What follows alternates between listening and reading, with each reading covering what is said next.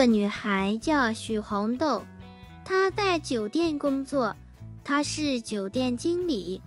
她每天早上七点起床，七点半吃早饭，八点坐地铁去上班，工作很忙，有时候会忘记给家人打电话。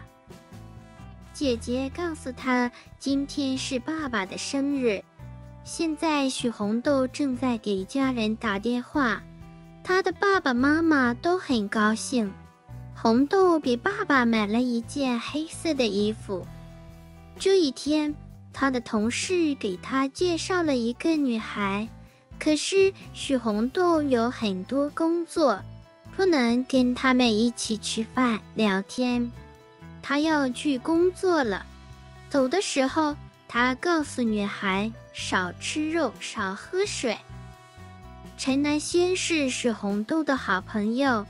一天，他去许红豆的家，冰箱里的食物坏了。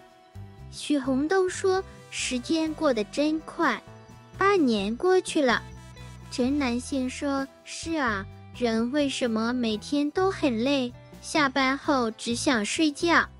他们聊天聊了很长时间，过了几天，陈南星去医院看医生，许红豆听说后非常难过。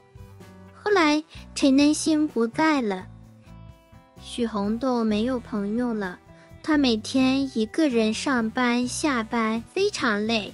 这一天，她也生病了，她打开陈南星以前的留言，好朋友告诉她。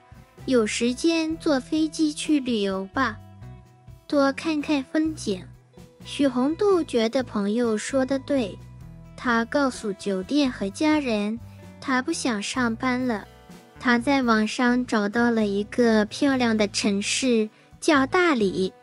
他想去大理看看，看看那里有没有好玩的事情。